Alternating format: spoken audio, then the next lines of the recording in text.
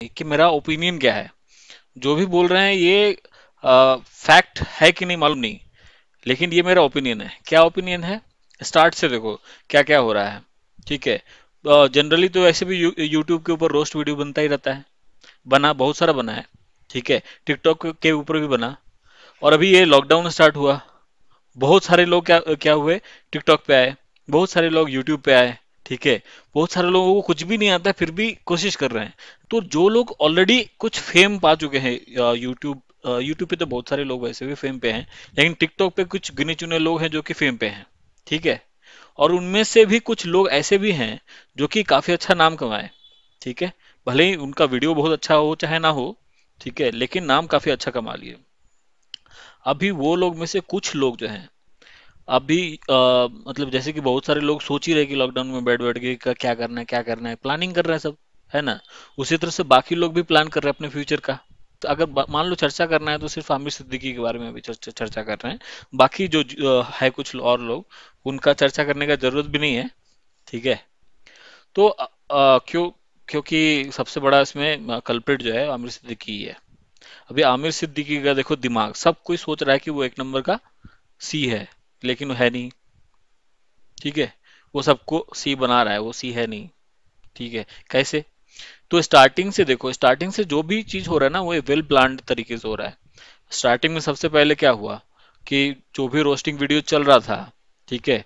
उसमें से कुछ के ऊपर में टॉपिक्स सेलेक्ट करके, या आमिर सिद्दीकी आई टीवी पे जाता है और वहाँ पे कमेंट करता है। कुछ बातें बोलता है वहाँ पे जाकर के। ठीक है? और उसमें ये भी बोलता है कि भाई अगर ऐसा हमारे ऊपर कुछ वीडियोस बनता है तो हम स्पोर्टिंग ले लेते हैं वगैरह वगैरह। यानी कि आगे जाकर के वहाँ पे इनकरेज कर रहा है बाकी लोगों को यूट्यूबर्स को एक तरह से कि आप बनाओ कोई दिक्कत नहीं हम तो स्पोर्टिंगली ले ही रहे लेकिन आगे एक दूसरे वीडियो में भी वो कैरी मिनाटी का भी नाम लेता है कि हमको तो बहुत अच्छा लगेगा कि अगर कैरी मिनाटी मेरे ऊपर रोस्ट वीडियो बनाया तो भाई उसकी ख्वाहिश पूरी हो गई कैरी मिनाटी ने उसके ऊपर रोस्ट वीडियो बनाया और डालते ही इंटरनेट पे वो एक सेंसेशन बन गया। ठीक है? दो मिलियन व्यूज़ तो ऐसे ही मिल गए थे उसको। करते करते करते करते करते कब का वो दस मिलियन क्रॉस कर गया पता ही नहीं चला। लेकिन सोचो कि ये जो अभी वीडियो आया था, ये तो आमिर सिद्दीकी ने मांगा था। ठीक है? अभी जब वो मांगा था तो फिर इसके ऊपर फिर आगे कार्रवाई क्यों किया वो? आखिर आगे जाकर के अब देखो अब उसको समय भी नहीं लगा और कितने अच्छे तरीके से वो पूरा प्लान किया कि इसमें से कौन सा पॉइंट उठाना है ठीक है? उसमें से एलजीबीटी क्यू कम्युनिटी का जो पॉइंट है वो उठाया वो और उसको उठा करके फिर मुद्दा बनाया ठीक है? और वो फिर वीडियो पे आया वीडियो पे आकर के भी बोला। लेकिन वो सब वो सब भी एक प्रोपेगेंडा था दिखाने का कि हम यहाँ पे आ रहे हैं। वो ऑलरेडी अलग से कम्युनिटी से उन, उनकी बातें चल रही थी। उनको प्रोवोक तो किया अलग और उनको बोला कि भाई आप केस करो ये वीडियो हटवाओ। ये एक तरीका था वो वीडियो हटाने का और उसके साथ तो साथ स्क्रीन पे आकर के तो नहीं लेकिन सीक्रेटली बहुत सारे अपने फॉलोअर्स को भी बोला कि जाकर रिपोर्ट मारो। बहुत सारे ठीक है जितने भी ये इस तरह के वीडियो है सारे वीडियो पे जाकर के रिपोर्ट का ऑप्शन होता है तो रिपोर्ट कर दिया गया यूट्यूब पे। एक ठीक है अभी हो गया चलो। इतना भी हो गया। हम लोग सोचे सर यहाँ तो खत्म हो जाएगा। लेकिन अभी उसके चक्कर में भी क्या हो गया कैरी का वीडियो डिलीट हो गया। बहुत सारा चीज़ अभी उसमें होने वाला था। उसमें अभी तो धीरे धीरे धीरे धीरे करके वो अपना रंग दिखाना शुरू ही किया था कि कितना कितना सारा वो रिकॉर्ड तोड़ सकता था। ठीक है लेकिन नहीं उससे पहले ही ये डिलीट हो गया। ठीक है एल जी क्यू जो कम्युनिटी है उसका इस्तेमाल करना एक बहुत बड़ा क्या बोलते हैं तिरुप का इक्का हो जाता है। ठीक है वो कोई अभी ये, अगर ये पॉलिटिकल रूप ले सकता था। अगर एल जी बी क्यू का, अगर अगर उन लोगों ने अगर कुछ भी रिपोर्ट किया हुआ है, उस ऊपर एक्शन नहीं लिया यूट्यूब या गूगल ने, ठीक है तो उसके ऊपर फिर एक्शन हो जाएगा। एक तो मतलब कार्रवाई कानूनी तो चलेगी चलेगी, पॉलिटिकल एक्शन भी चालू हो जाएगा। ठीक है तो सेफ़ वे में जाकर के उन लोगों ने डिलीट कर दिया, इसमें यूट्यूब की भी कोई गलती नहीं है। अब यहाँ पे बात खत्म हो जानी चाहिए। भाई मान लो कि तेरी जीत होगी खत्म करो। ठीक है? नहीं। अभी कैसे? अभी तो अपना असली इंटेंशन बताना ज़रूरी था। ठीक है? भी इसी बीच में आपका एक एक बंदे का तो यूट्यूब चैनल भी आ गया और उन्होंने अपना पहला वीलॉग भी डाल दिया। वो अलग बात है कि अभी मतलब इंडियन यूट्यूब इतिहास का वो सबसे ज़्यादा डिसलाइक होने वाला वीडियो है। ठीक है?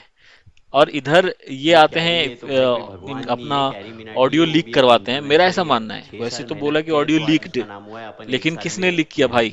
कुछ पता नहीं।